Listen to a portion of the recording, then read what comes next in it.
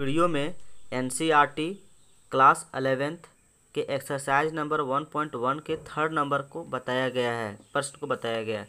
आप यहाँ देख सकते हैं कि write the following set in your roster form roster form में लिखने के लिए कहा जा रहा है।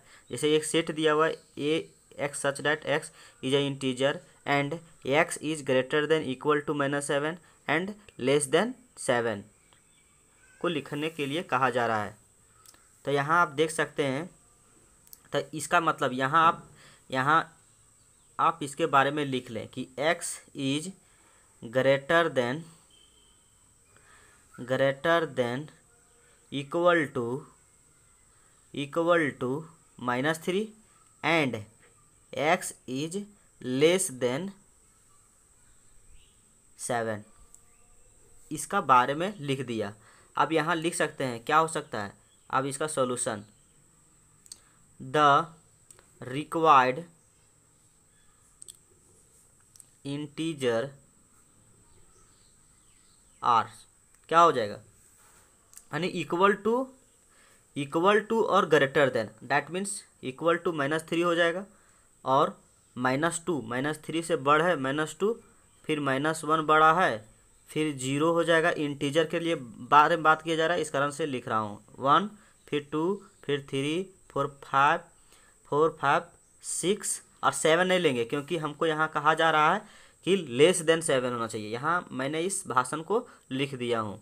तब यहाँ क्या हो सकता है? रोस्टर फॉर्म लिखने का तरीका है। इन रोस्टर फॉर्म हमेशा रोस्टर फॉर्म को हम लोग कोई सेट लेते हैं। यहाँ ए है तो इसीलिए ए लिखा। और रोस्टर फॉर्म लिखने के लिए बोलता है कि जितना सारा एलिमेंट है, उसको एक कर करके लिखिए और सब कॉमा के साथ लिखिए। यही है रोस्टर फॉर्म का लिखने का तरीका। थ्री, फोर, फाइव, सिक्स, यही हो गया आपका आंसर।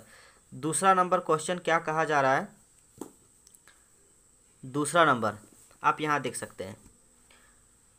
दूसरा नंबर बोला जा रहा है कि बी में x such that x is a natural number less than six कि वह बताइए कि लेस देन सिक्स से नेचुरल नंबर कौन कौन सा होगा? तो उसको रोस्टर फॉर्म में लिखना है। तो यहाँ मैं प्रश्न नहीं लिखता हूँ, डायरेक्ट बनाने का प्रयास करता हूँ। तो यहाँ लिख सकते हैं कि natural number natural number less than less than six are. यही है सॉल्यूशन आपका। यहाँ देख सकते हैं सिक्स का लेस देन क्या होगा? तो यहाँ वन हो जाएगा।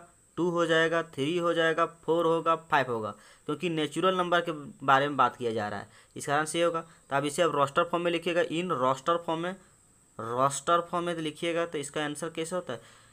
यहाँ यहाँ बी बराबर लिखेंगे और यहाँ कॉमा हर एलिमेंट को कॉमा के साथ रिप्रेजेंट करेंगे करले ब्रैकेट से बंद करेंगे।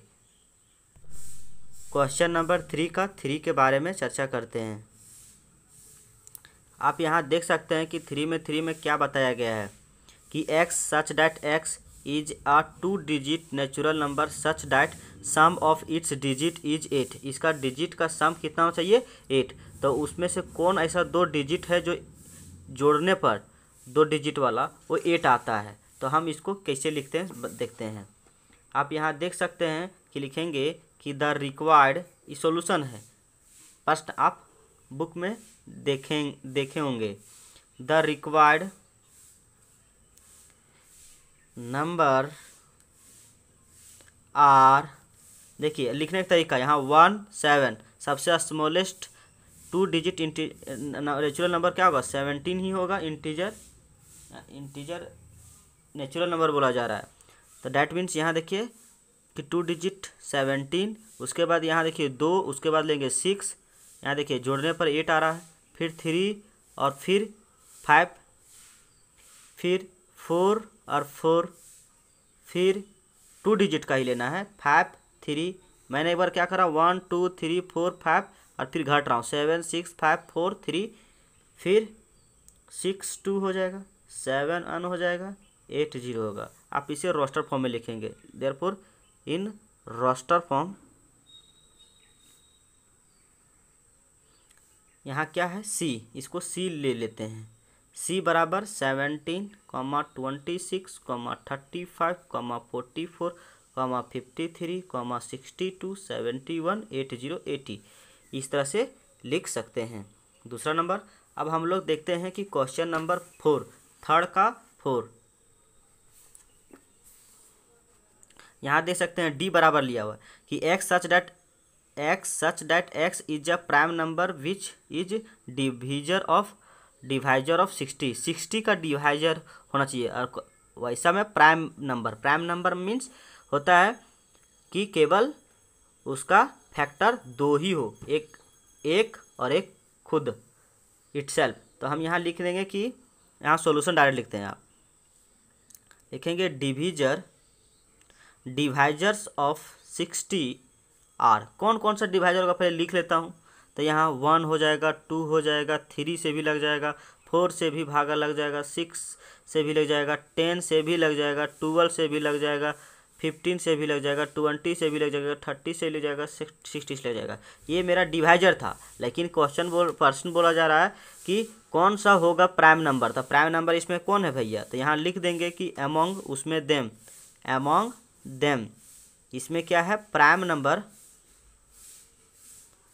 prime number are दो थ्री फाइव तो इसे आप रोस्टर फॉर्म में लिख लीजिए। इन रोस्टर फॉर्म तो यहाँ फोर है तो इसीलिए डी लिख देता हूँ, क्योंकि डी था प्रश्न में तो यहाँ दो थ्री फाइव आपका आंसर यही हो गया। अब हम लोग देखते हैं कि प्रश्न नंबर फाइव को कैसे बनाएँगे। थर्ड का फाइव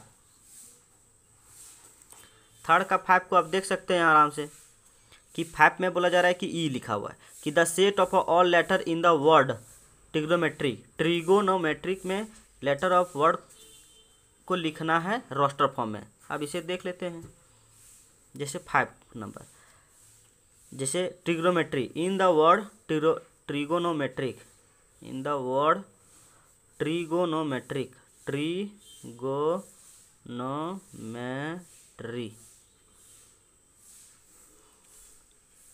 यहाँ आप देख सकते हैं कि the letter